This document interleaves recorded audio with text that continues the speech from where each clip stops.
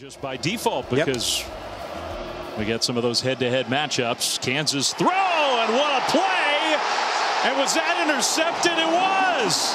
Oh my goodness, C.J. Coldon with one of the plays of the year. Wow, what an interception! That was incredible.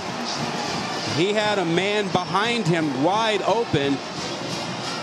He's in the short zone area and just shows you his ability to get up.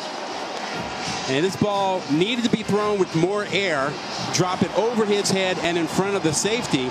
But instead, C.J. Coldon gets up and makes, uh, you know, catch of the year, man. That's one of the catches of the year. Yeah, I'm, I'm